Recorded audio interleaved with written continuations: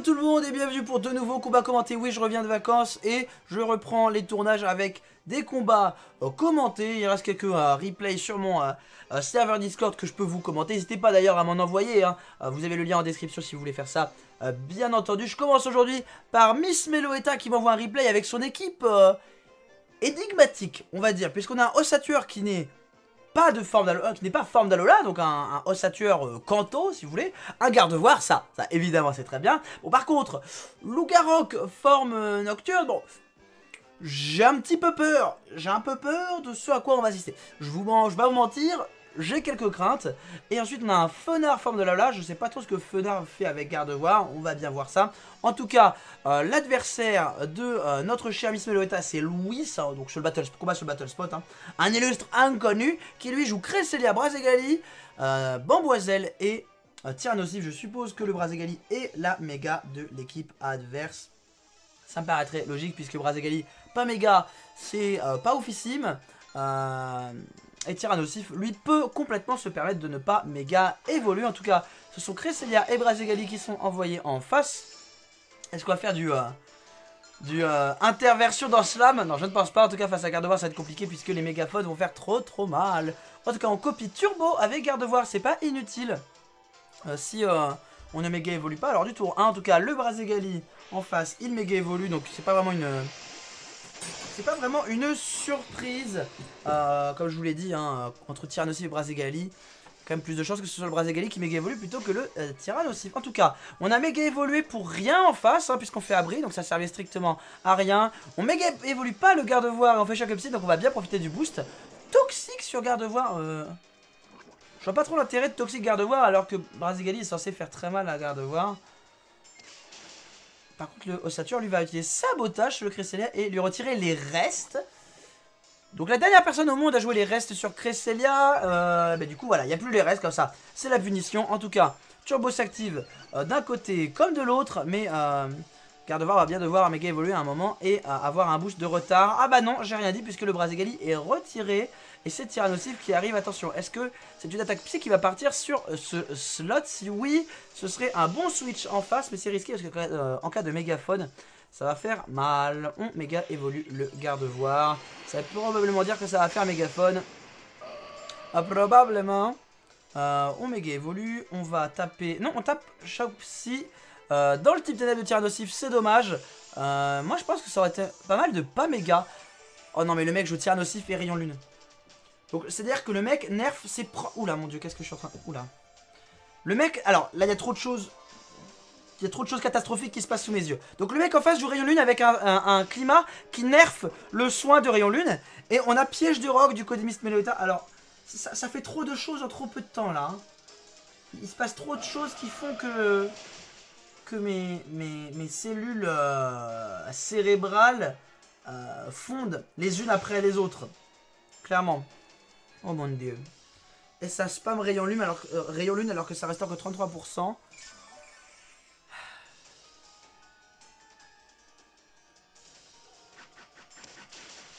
Moi, vous savez, euh, vous savez, ça fait longtemps que j'ai capitulé dans l'idée de, euh, de, voir que des combats où, bon, bon, alors, vous êtes là pour des conseils, d'accord, mais enfin, là quand même, il y a beaucoup de choses. Bon, c'est des deux côtés hein, au final, donc euh, là, là, il y a beaucoup de choses quand même.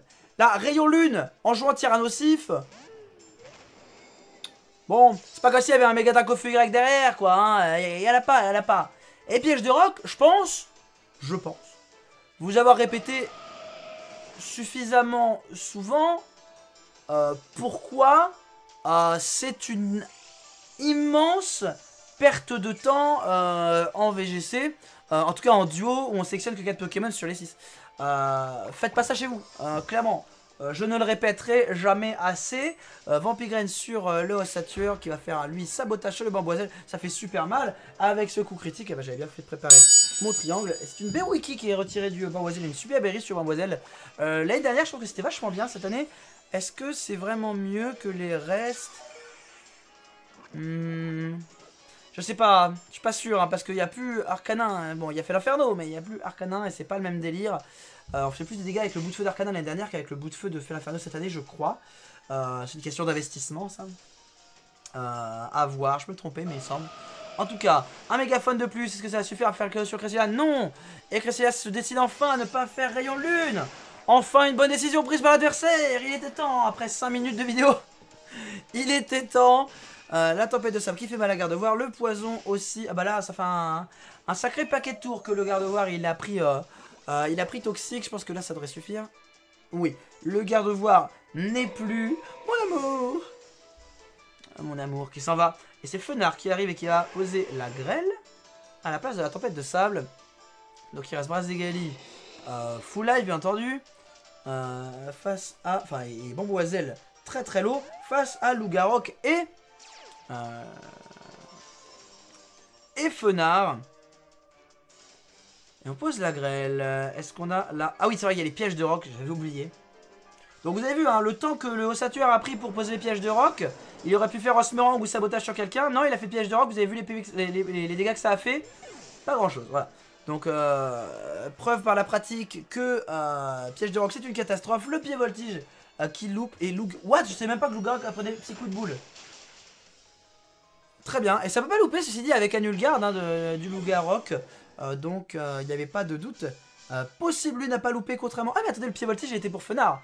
Parce que s'il était pour Lougarok, le pied voltige n'aurait pas pu louper. En tout cas, euh, en tout cas, j'ai eu mal aux yeux, j'espère. J'espère vraiment euh, me les laver avec le combat suivant. Au vu des compos, ça devrait être un petit peu mieux. C'est Bruno qui m'envoie euh, le, le, replay de ce deuxième combat que je commente aujourd'hui. Du côté de Bruno, on a un Kangourex.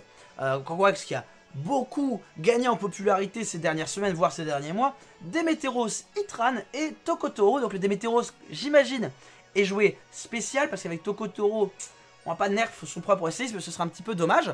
Face à lui, Elector, Tyrannosif, encore un Tyrannosif aujourd'hui. Golé et Tokopisco. On a vu zéro Fenaferno aujourd'hui, mesdames, messieurs, c'est un record. Je pense que ça fait très très très longtemps qu'on a... Euh, qu'on n'a pas passé une, une vidéo, entre guillemets, de combat commenté, euh, combat traditionnel, hein, pas de essayer de gagner, euh, sans fait l'inferno, 4 compos, aucun fait l'inferno, alors peut-être qu'il y en a un dans l'équipe d'un des joueurs hein, qu'on a vu, mais on ne l'aura pas vu au combat en tout cas. L'intimidation euh, du Demeteros importante sur Tyrannosif, puisqu'à moins 1, il fait pas peur à grand monde, hein, euh, à moins qu'il ait point glace. et dans ce cas-là, Demeteros souffrirait le, martyr.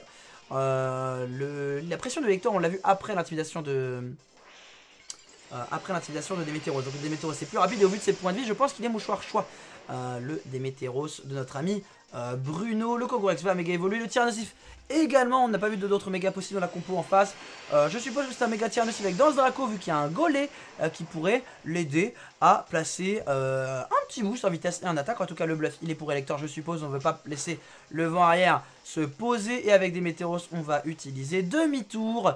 Teloris Force ferait pas beaucoup de dégâts à Tyrannosif à cause de... Bah déjà en méga il a encore plus de défense spéciale euh, et en plus il y a le boost de euh, la tempête de sable pour, les Pokémon de type roche euh, qui gagne en, défense spéciale. Hein. Ne l'oubliez pas. En tout cas on envoie Tokotoro. On pose le chien herbu, beaucoup de choses hein, qui se passent dans ce tour. Le point glace, et oui il y a bien un point glace sur Tyrannosif alors qu'il est méga. Alors sur un Tyrannosif mon chercheur ça m'étonne pas mais sur un méga c'est très très très très rare. Euh, le glace qui fait des dégâts qui sont pas ouf à Tokotoro. Tokotoro qui je rappelle a une bonne défense, très bonne défense, 115, euh, même s'il a des points de vie un peu plus... Euh, enfin un peu plus modestes et le Cherbu lui va permettre à Tokotoro de récupérer un petit peu de points de vie. Il a pris moins, il a pas pris beaucoup de dégâts aussi parce qu'il y avait l'intimidation hein, du Demeteros, il faut pas l'oublier. En tout cas on s'abrite avec Tyrannosif, on a peur du balayage. C'est un vent arrière de la part du lecteur, lecteur plus rapide que Korgorex, c'est important de signaler ça. Le point glace, non pas de balayage, c'est un point glace.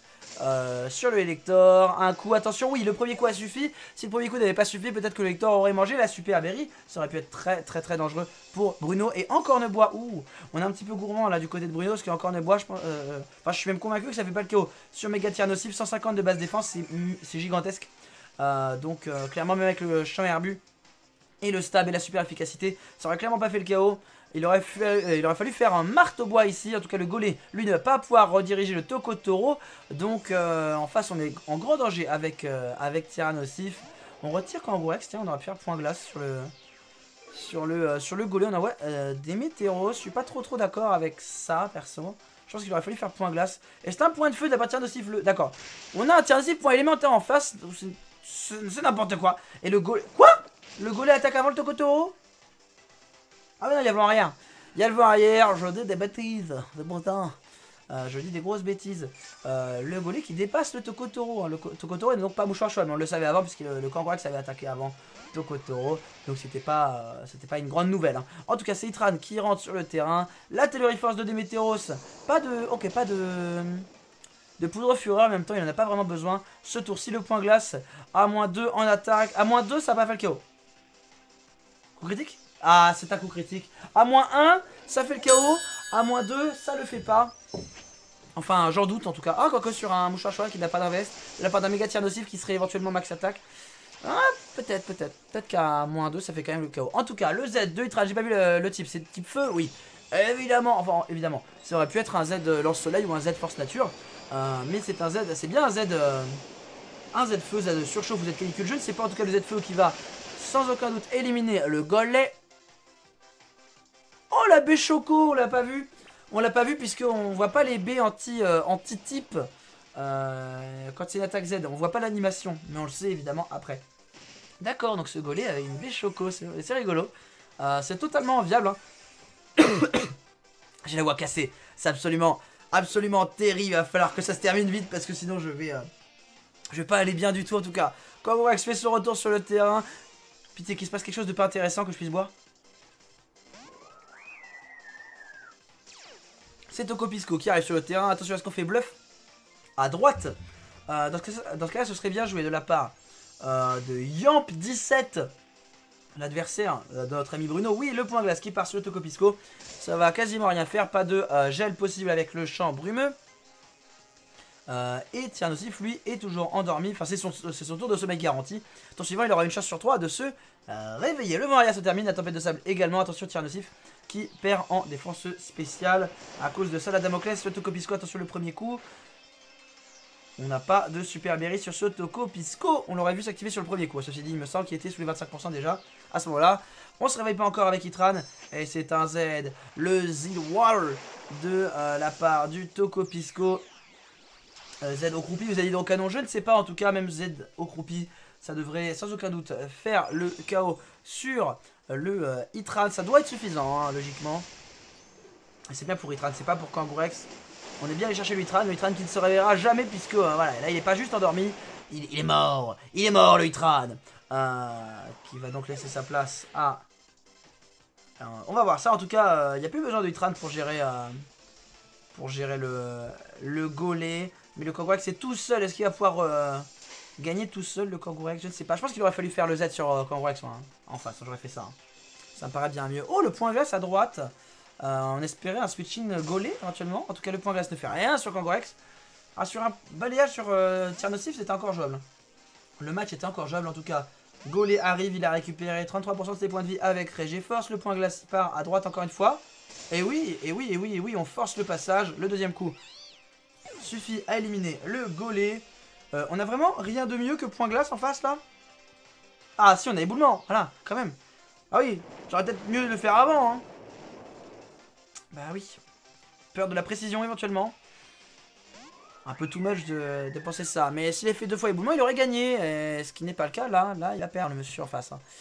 Clairement, c'est mal parti. Est-ce qu'on a bien balayage? Dites-moi que oui.